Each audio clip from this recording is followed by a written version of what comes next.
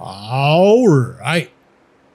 Now we're doing free code camp, responsive web design, learn HTML forms by building a registration form. Step 56. All right.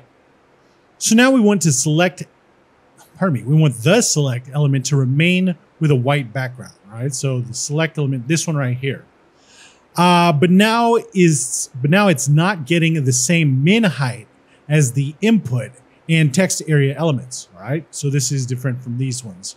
So we're going to move the min height property and value so that all three element types have the same min height value and the select element still has a white background. All right.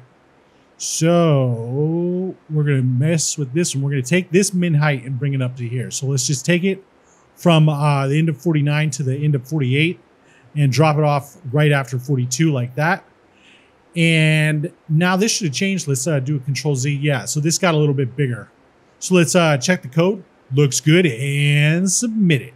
All right. Now we're on to step 57 and we'll see you next time.